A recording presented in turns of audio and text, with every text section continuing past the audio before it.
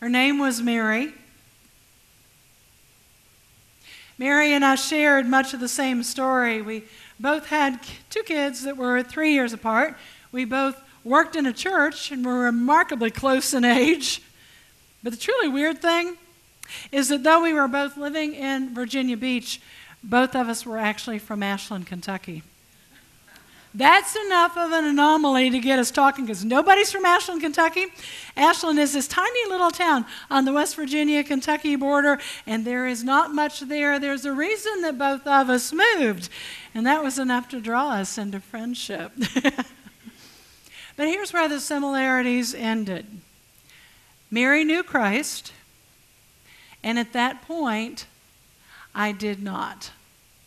And yes, you heard me correctly. I was working in a church. Now, you know my story. But Mary treated me as a sister in Christ. This is what I mean.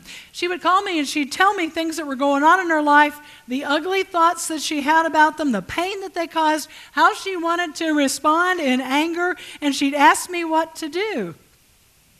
Now, most of those things were things I did not want to know in the first place. And this is the reason. As long as she didn't share her vulnerabilities, then I didn't have to come face with mine, face to face with mine. Surface friendships are much easier.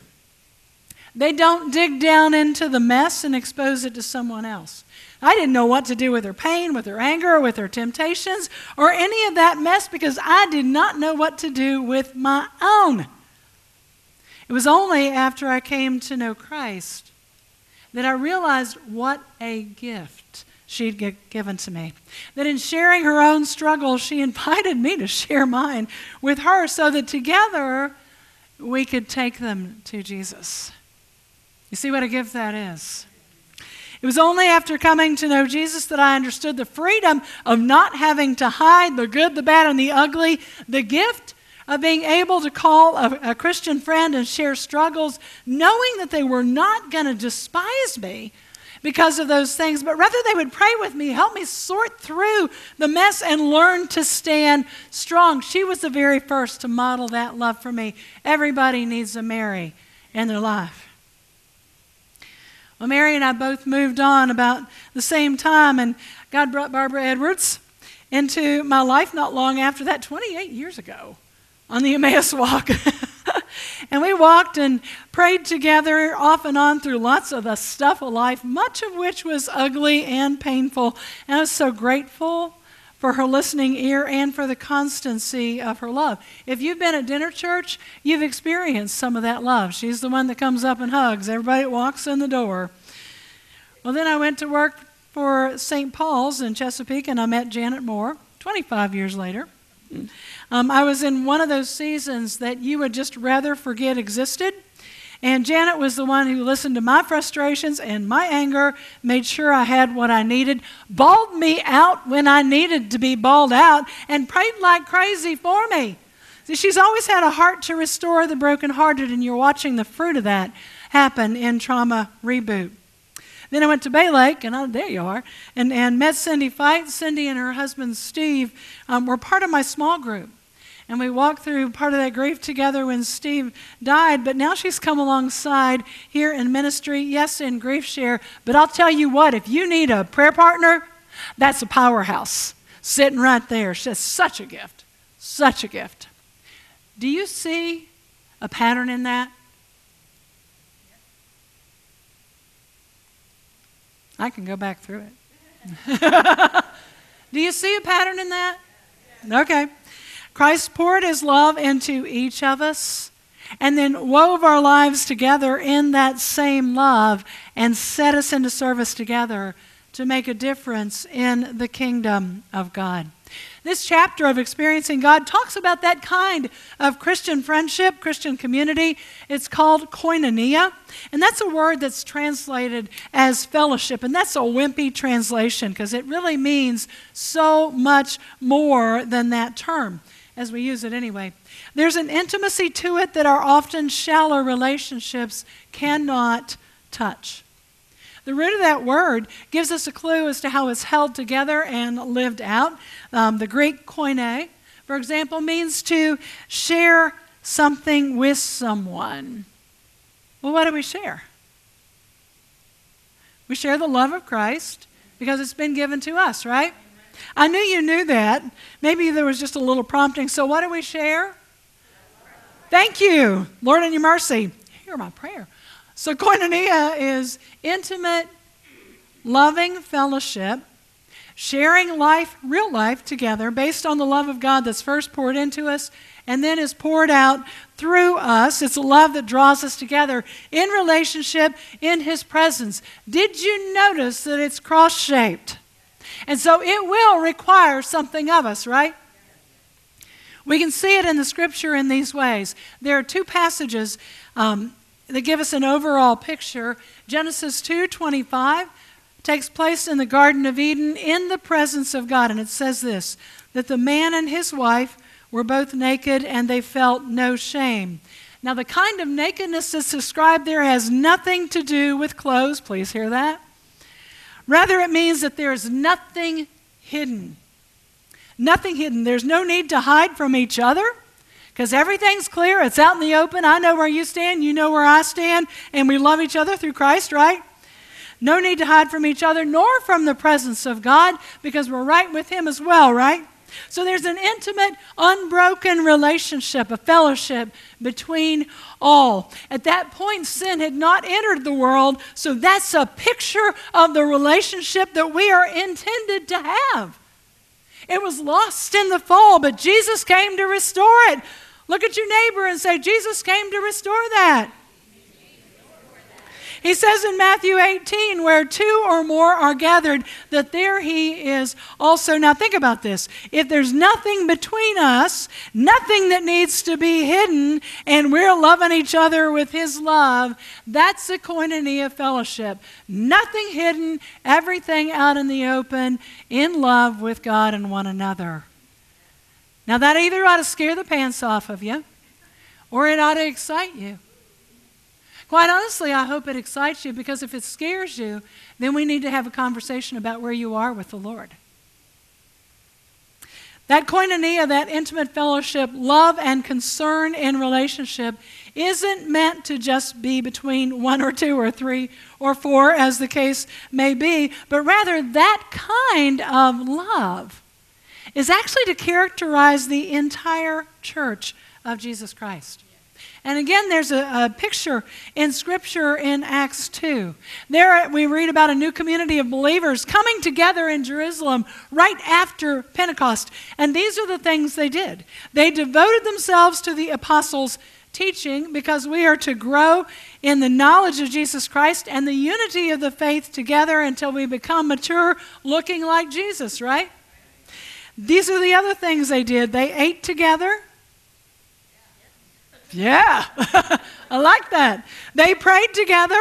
Thank you, Lord. They experienced manifestations of God's presence in miracles. We've experienced some of those at dinner church. And when someone really needed something, they found a way to meet that need. Now, Scripture says they even sold their property and possessions as necessary so that nobody went without because that love of God was so great within them that it poured out of them. Does that make sense to you? That kind of love, that kind of connection, that will change a city, and it did. God added to their number daily those who were being saved. He could trust newcomers to that kind of fellowship. Could he do that here?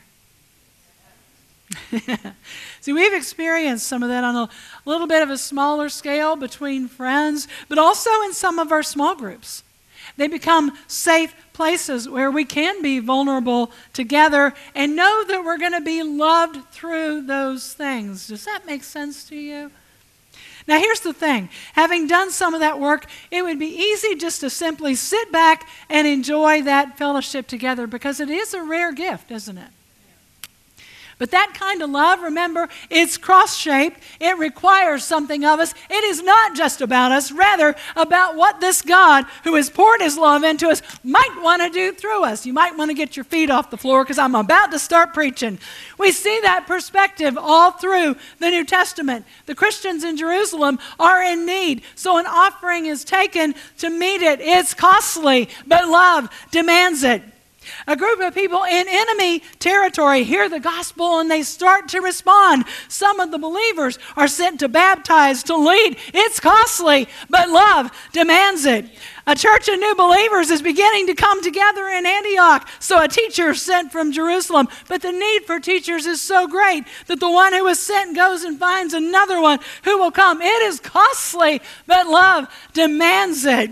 Evangelists are needed to carry the gospel to places that it's never been. Two are set apart and sent from one church. It's costly, but love demands it.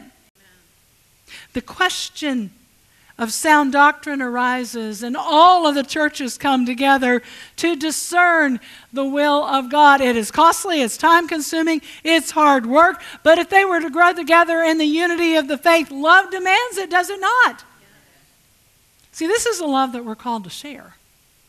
It's a costly love. What has been poured into us is meant to be poured out through us.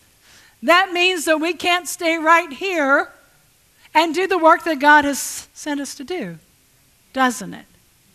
I warned you, it's coming. What might it look like here? Well, if we just consider what we have here, maybe it looks like Trauma Reboot moving into abused women's shelters because it's necessary. Lives are broken and they need to be restored. We have the ability to do that, don't we? Maybe it looks like Grief Share partnering with funeral homes. Lord, in your mercy, if ever there were a need for the presence of Christ to be, might it be? Might you be called to go? Oh, that got quiet now, didn't it? yeah, yeah, yeah. Oh. ah, help. but we're not the only Christians in Hampton. What if? What if instead of starting a new dinner church on our own, we partner with another church to start one in another place in the city or in another one where it's so needed? What if it's not just about us going out, but joining with other people? Oh my, could the love of God actually spread between churches? Whew, Lord, in your mercy. What if we come together as churches to pray, to ask God what He wants to do in the city of Hampton, and then work together to see it done? Might Hampton see and experience the love of Christ as we've experienced it? Lord, in your mercy. What if we quit building our own kingdoms and started to build His? I warned you. You know, this morning we've been praying about the possibility of aligning with the new denomination, the Global Methodist Church. And we've been talking about this for several months. It's not a new conversation. What I love is the doctrine is sound. There are safeguards set in place to make sure it remains so. But what excites me are the possibilities that it opens up for the love of God to be spread, that very thing that we've been talking about just this morning. What if what if we partnered with Greg West and that ministry, Life in His Name? See, Greg is an evangelist with a Global Methodist Church, and he's working in all these different cities right now to reach new believers. What if we partnered with him? What if you were called to go with them to reach new believers? Lord, in your mercy, one of the things that Global asks is that a church, we as a church, we gather together in small groups to share life, real life, not the facade that sometimes passes for it, so that we can grow together in love, strengthening and encouraging one another in faith. See, that should sound familiar. I'm excited by that. How about you? One of the possibilities that aligning ourselves with Global opens up is that of partnering with other churches to start new church plants. They've already started partnering with Asbury Seminary. And so between Asbury and Global, they're going out to the nation. They're going out internationally to start new churches in new places. Do you think that we might just have something that they might need in order to do that? See, those possibilities exist when we open our hearts and our minds to the love of Jesus Christ and allow it to spread through us. I got to breathe, sorry. what if? What if? Are you excited or are you terrified?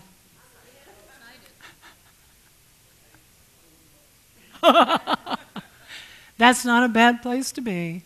A little bit of both. A little bit of both. Are you willing to see what God might do? All right, we're going to pray and then we're going to sing and get out of here. Bless you.